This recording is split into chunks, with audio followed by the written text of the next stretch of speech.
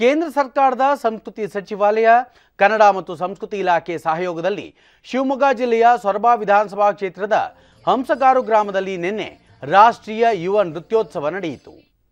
ಕರ್ನಾಟಕ, ಕೇರಳ, ಮಧ್ಯಪ್ರದೇಶ ಸೇರಿದಂತೆ ವಿವಿಧ ರಾಜ್ಯಗಳ ಕಲಾವಿದರು ಭರತನಾಟ್ಯ, ಕಥಕ್, ಕೂಚುಪುಡಿ, ಮೋಹಿನಿ ಆಟಂನಂತಹ ದೇಶೀಯ ಸಾಂಪ್ರದಾಯಿಕ ನೃತ್ಯಗಳನ್ನು ಪ್ರಸ್ತುತಪಡಿಸಿದರು.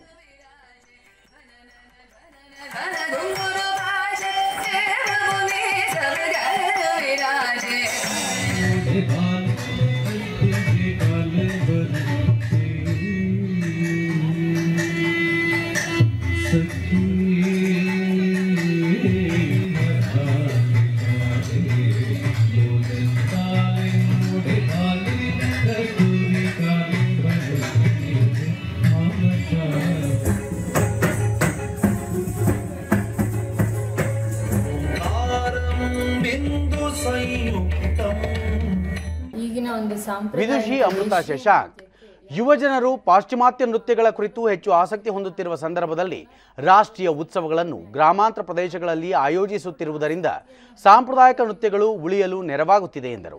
ಬಹಳಷ್ಟು ಜನ ಇದ್ದಾರೆ. ಅದನ್ನು ನಾವು ಇಡೀ ದೇಶದಲ್ಲಿ ರಾಜ್ಯದಲ್ಲಿ ಕೂಡ ಕಾಣಬಹುದು.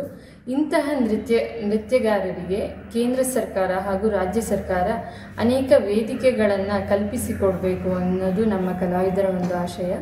ರಾಜ್ಯ ಹಾಗೂ ಕೇಂದ್ರ ಡಾಕ್ಟರ್ ಪದ್ಮಶ್ರೀ ಕಲಾವಿದರಿಗೆ ಇಂತಹ ವೇದಿಕೆಗಳನ್ನು ಕಲ್ಪಿಸುವುದು ಅತ್ಯವಶ್ಯಕ. ಇದರಿಂದ ಗ್ರಾಮೀಣ ಪ್ರದೇಶಗಳಲ್ಲಿಯೂ ವಿವಿಧ ನೃತ್ಯ ಪ್ರಕಾರಗಳ ಕುರಿತು ಜಾಗೃತಿ ಮೂಡಿಸುವ ಕೇಂದ್ರ ಮತ್ತು ರಾಜ್ಯ ಸರ್ಕಾರಗಳ ಪ್ರಯತ್ನ ಅಭಿನಂದನಾರ್ಹ ಎಂದರು. ಗ್ರಾಮೀಣ ಪ್ರದೇಶಗಳಲ್ಲಿ ಕಲಾವಿದರನ್ನು, ನಮ್ಮಂತಹ ಕಲಾವಿದರನ್ನು, ಯುವ ಕಲಾವಿದರನ್ನು ಗುರುತಿಸಿ ಇಲ್ಲಿ ಕಾರ್ಯಕ್ರಮವನ್ನು ಪರಿಣಿತಿ ಕಲಾ ಕೇಂದ್ರವು ನಮಗೆ ಆಯೋಜಿಸಲಾಗಿದೆ. ಈ ತರಹ ಕಲಾವಿದರನ್ನು ವಿನಿಮಯ ಮಾಡಿಕೊಳ್ಳುತ್ತಿರುವುದು ನಮ್ಮ ಅದೃಷ್ಟವೂ ಕೂಡ ಹೌದು. ಇಂತಹ ಒಳ್ಳೆಯ ಪ್ರಯತ್ನಕ್ಕೆ ಕೇಂದ್ರ ಹಾಗೂ ರಾಜ್ಯ ಸರ್ಕಾರಕ್ಕೆ ನಾನು ಧನ್ಯವಾದಗಳನ್ನು ಹೇಳುತ್ತಿದ್ದೇನೆ. ಅವರ ಸಹಕಾರ ಹೀಗೆ ಇರಬೇಕೆಂದು ಕೇಳಿಕೊಳ್ಳುತ್ತಿದ್ದೇನೆ.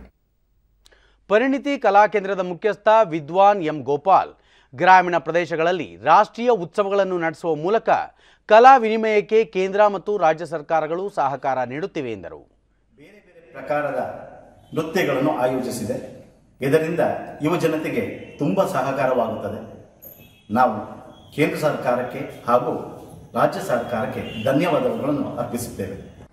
this kind of Mohiniyattam ಕಲಾವಿದೆ ಉರ್ಮಿಳ ದಕ್ಷಿಣ ಭಾರತದ ಸಾಂಪ್ರದಾಯಿಕ ಕಲೆಗಳ ವಿನಿಮಯ ಮಾಡಿಕೊಳ್ಳಲು ಇಂತಹ ಕಾರ್ಯಕ್ರಮಗಳು ನೆರವಾಗಲಿವೆ ಎಂದು ಅಭಿಪ್ರಾಯಪಟ್ಟರು. perform and to establish ourselves and to promote the art uh, all over the India, the in, uh, international uh, level and the state level, like Karnataka, uh, they are taking very good action forward to promote this art form.